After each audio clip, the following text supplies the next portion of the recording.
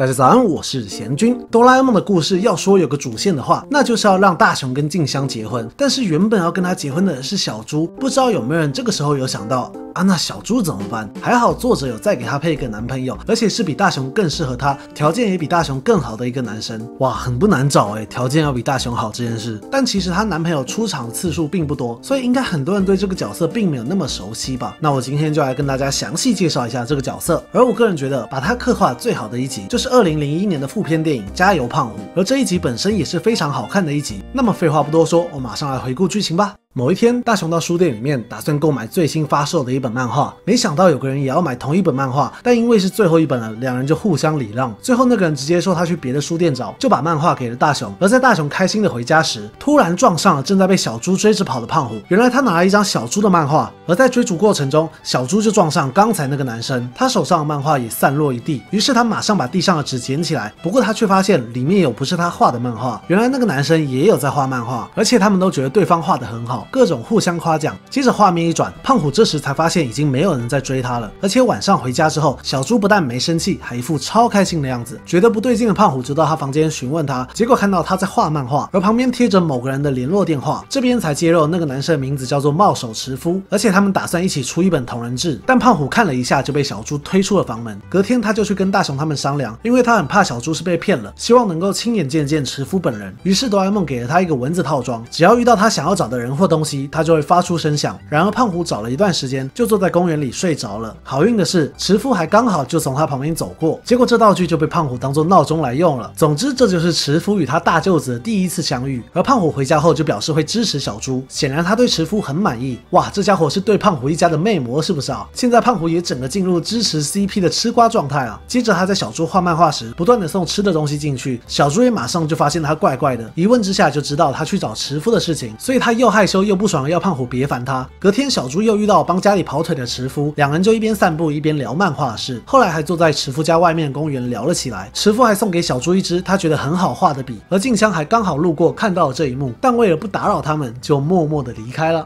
同一时间，胖虎又去找哆啦 A 梦，说小猪要画古埃及的故事，所以他想要到中古世纪的埃及去拍照做考证。大雄他们就帮他拍了一堆照片。结果当胖虎回到家时，看到睡在桌上的小猪，而即使在梦中，他还在念着池夫的名字。于是他才真正理解到小猪是真的很喜欢池夫。于是他聚集了他的知心好友们，表示他要帮助小猪追求池夫，因为小猪太过内向害羞，一定不敢跟池夫告白，最后这段恋情就会无疾而终。听他这么说，哆啦 A 梦就拿出了替身麦克风，只要被箭头对着的人，就会讲出。拿着麦克风的人讲的话，于是他们就围绕这道具制定了一个计划。那么在某一天，当池夫正在画漫画的时候，他的妈妈要他去外面晃晃，但外面冷到不行，他妈妈却一个暴气，就是要他出门。不是啊，你那个箭头是怎么指到在室内的人的？后来路上的人还都要他去公园。哇靠！从池夫的角度来看，这简直跟路人超能一百神速片一样恐怖啊！而小猪那边则是由静香约他散步，他们就在公园和池夫相遇。静香立刻表示：“哎呀，我忘记要上钢琴课了，再见！”就跑。了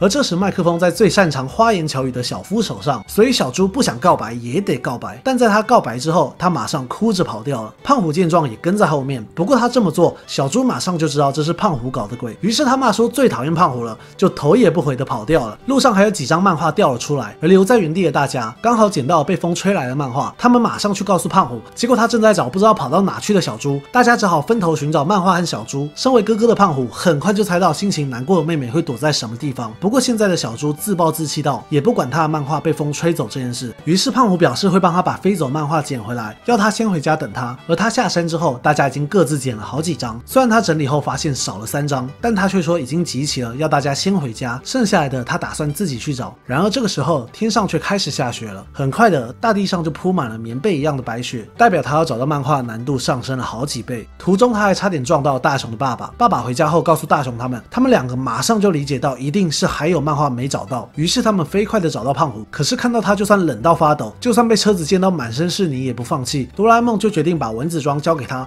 而不是直接用道具帮他找到。因为同样身为哥哥的他，完全可以理解他身为哥哥的自尊。于是胖虎靠着这道具找到了一张，但他这个时候早就又冷又饿。这时他想到以前也有类似的情况，在小时候小猪会被同学欺负，胖虎也会出手保护他。而某天胖虎被妈妈骂，并且被关在仓库里面，小猪还偷偷带了饭团给他，但因为藏在衣服里，都被压扁了。胖虎却为此非常的感动。就在他回想了这个回忆的时候，耳边居然传来了小猪的声音。原来小猪注意到外面在下雪，而且看到胖虎帮他拍的埃及的照片，让他注意到胖虎为了他有多么的努力，所以他也跑到外面来找胖虎了。而且就如同胖虎找了漫画找了很久一样，只要看到小猪脚上的伤，就能知道他也找了胖虎很久。他声泪俱下说漫画他再画就好了，要胖虎不要再找了。胖虎看到他脚上的伤，也就答应了他。这点来讲，这对兄妹还真像，一个不管自己找漫画找到双手冻伤，一个不管自己的脚跑到受伤，两个人都是为了对方。于是胖虎就背着小猪回家了。隔天，池夫找小猪出去，小猪一看到他就对他道歉，表示他画的漫画太无聊了，所以没办法和他一起画同人志，还把笔交还给池夫。然而池夫却拿出了他不见的漫画，表示虽然他只看了这两页，但光是这两页就蛮有趣的了，并表示希望能和小猪继续画漫画。这时在后面偷看的胖虎哭着走出来，一直说着太好了。而这次的和好计划是大雄在胖虎回家之后想出来的，是一个和告白计划不一样的好计划。那这一集就在这里结束啦。另外提一下，在片尾曲后面有一个二零一五的日历，还能看到小猪的手上有结婚戒指，暗示着他未来和池夫结婚了。好啦，那么到这边就讲完这部电影啦。这是一个以胖虎为主角，以感动的兄妹情角度来讲述小猪的爱情故事。虽然老实说，池夫的戏份不算太多，但我个人觉得这已经是哆啦 A 梦的动画里面把池夫刻画的最好的一集了。首先是他一开始和大雄的相遇，在剧中大概只有短短二十秒，但这二十秒互动就已经说明了为什么小猪以前会和大雄结婚。大雄和池夫共同的特质是什么？这两件事。首先你可以看出来，这两个人都是愿意礼让其他人买原本自己要买的漫画，他们都是愿意把别人放在自己前面的好人。必须要说，这部的导演渡边步真的对于大雄的特质和温柔理解的非常透彻。这件事在大雄出生的那一天和大雄的结婚前夜也看得出来。而池夫除了这份善良以外，还会画漫画，基本上是完全的大雄上位版。看来哆啦 A 梦不止给大雄带来了更好的未来，还连他原本老婆的未来一起改善了。但话又说回来，茂手池夫在哆啦 A 梦之中的戏份真的不多。像这部电影也是改编自他少数有登场的篇章《哭泣的小猪》和小猪的漫画新作，而在里面他的设定是超受女生欢迎的。原本他们用替身麦克风把他叫出来的时候，路上有一堆女生挡着他，是大雄他们用替身麦克风，好不容易才把这些女生赶走了。实际上他的名字日文念作 Motemoteo，而 Mote Mote 在日文就是受欢迎的意思，所以他很受欢迎，算是他的原厂设定才对。另外原作中他和小猪是不认识的，是小猪单方面知道他并单恋他。胖虎也是好不容易问出来这件事的，而且他告诉哆啦 A 梦他们时，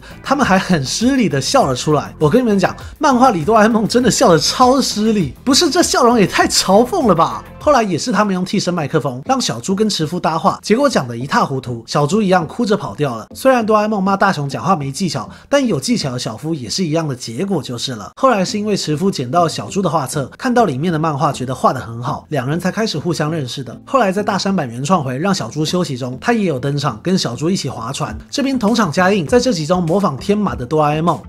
天马。说真的，这段我看了十几次了。另外，在一九九九年的原创回《小猪的情人节》，直接给池夫来了个大整形。我靠，老哥你谁啊？我个人不是很喜欢这个改动。还好在这部电影还有后来的水田版也都没有改他的长相，算是蛮令人开心的事情。好啦，那么这次的茂本池夫介绍影片，外加加油胖虎回顾影片就到这里了。如果喜欢我的影片的话，可以帮按个喜欢，也可以帮按个订阅。那我们就再见啦，拜拜。